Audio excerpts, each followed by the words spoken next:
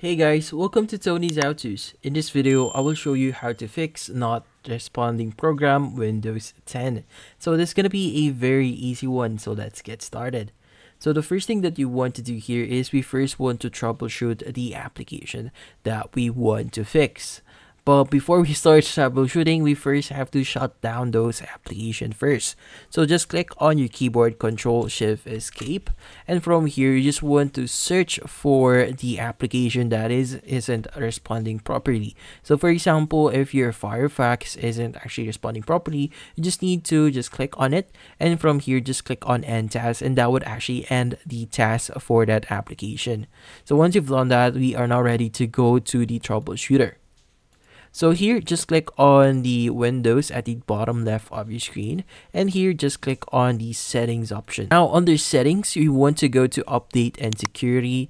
And under update and security, you want to locate troubleshoot. So here, it's usually located at the left panel of our screen here. Just click on troubleshoot.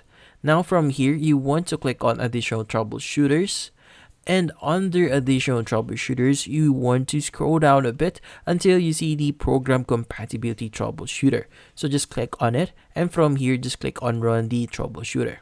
From here, it's going to detect any issues that you have on your computer, but once it's done, it's actually gonna let us choose the program that we're having issues with.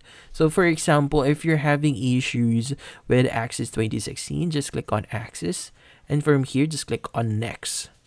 Then the next thing it's going to do, it's going to try to solve any issues for this one. But from here, it's going to ask us if you want to try recommended settings or troubleshoot the program. Now, but for this one, we're going to use the try recommended settings.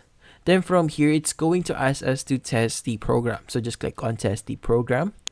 And from here, it's going to launch up the uh, itself it's the program itself or the application itself and when we actually go back into our uh, setting here or troubleshooter, you'll see that it's still the same thing. So you just need to close your application again. And from there, if you notice any changes or if you're able to actually use the application, you could just basically just click on next. Then from here, if that actually solves your issue, you can just basically just click on yes, save these settings for this program and from here it's going to save those settings where it actually work and from then on it should probably work on your PC now so if that doesn't actually work then the next thing that we want to do here is we want to change the boot up settings for our application itself. So for example, if you're having problems on this application, just right click on it and from here you want to go to properties. Under proper properties, you want to go to compatibility and under compatibility, we'll have to enable a few settings here. So for example, just click on run this program as administrator and you also want to click on disable full screen optimizations. Then from here, if you haven't done the troubleshooter before, just click on run this program in compatibility mode poor and from here you want to choose Windows 7. Then from here, just click on apply and OK and that should actually solve your issues for your not responding programs in Windows 10 and that's about it. So thank you for watching. If you have any questions, feel free to ask in the comment section. If you enjoyed this video and found it helpful, you could use the link in the description to subscribe.